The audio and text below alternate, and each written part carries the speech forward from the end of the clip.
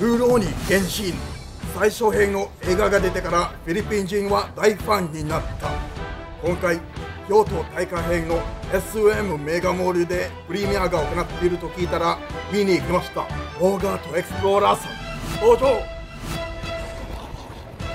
皆さんこんにちは。ダボシの5月エクスプローラです。ローロニケンシの京都大会編のアジアプレミアのために SM メガモールにいます行きましょう多くのフィリピン人はルローニケンシンが大好きでご趣味なら何でもやる人ですよ彼女をよく見てください楽しそうですね Okay, so I now have my ticket, my seat is reserved, and the popcorn is ready right here at SM Mega Mall, theatre number 9 for the premiere night of Rurouni Kenshin Kyoto Inferno. Let's go. 2時間後、映画はどうでしたかファンたちに聞いてみましょう。Tauro-san, Hi. how did you like your movie? I cried a couple of times. What was the best part? Sanosuke. Batman loves Sano. Swear to me. I really like everything know about Takeru, Kamiki, and Yosuke. Yosuke. And it's more important for today. And advice for all the fans right there. I'm about to pursue the movie I'm going to create. Yes. Watch that. All right. Hi, excuse me, sir. What did you think of the movie? Guapo de piano. that is awesome. Let's go ahead and ask some more people and see what they think of the movie then. I found the movie very, very interesting, but I like the fact that they did, they were honest and true to the anime. Shishio, I have a very, very important question. What lotion do you use to keep your skin smooth and silky? I take a bath in hell. Why don't you use Band-Aid? It would cost a lot. ルーローニケンシンのキャストとインタビューもできました。こんにちは。私はボーガートです。フィリピンへようこそ。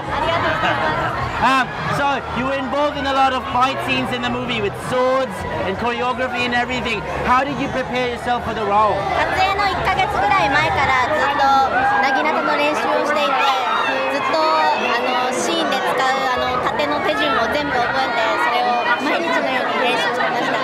How was it like working with them? 大友さんの現場はものすごく熱が多くてだから誰もこう気を抜かないでもう毎日死ぬ気でみんなが撮影に挑んでいてありがとうございますサラマッポー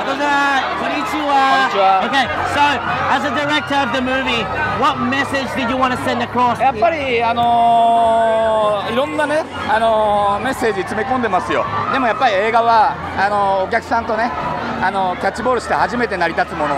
僕のメッセージよりも皆さんが自由に感じてほしい。What was the most memorable part in filming? えっと次のねあのレジェンズエンド伝説の最後編の。師匠と謙信の最後のバトルです。Are there plans to do a prequel? チャンスがあればね、やれればいいなとは思ってますよ。ありがとうございます。ありがとうございます。こんにちは。こんにちは。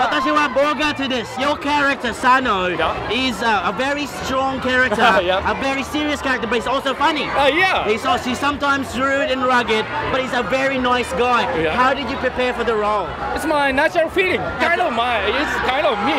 Were you always a fan of the character of the mo of the whole Rurouni Engine anime?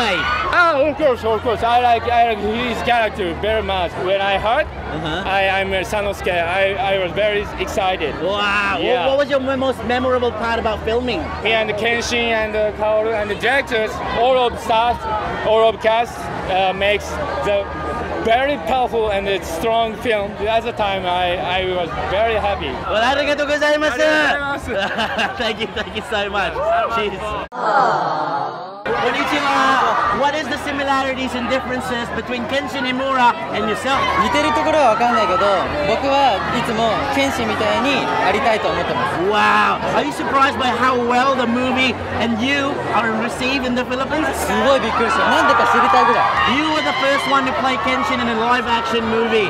How do you want your character to be remembered? やっぱりアクションが強いっていうの強いっていうのは戦って強いっていうのは当たり前だけど、心が優しい人だということ。So were you always a fan of the anime? あ、大好きです。ありがとうございます。ありがとう。気持ちい。い。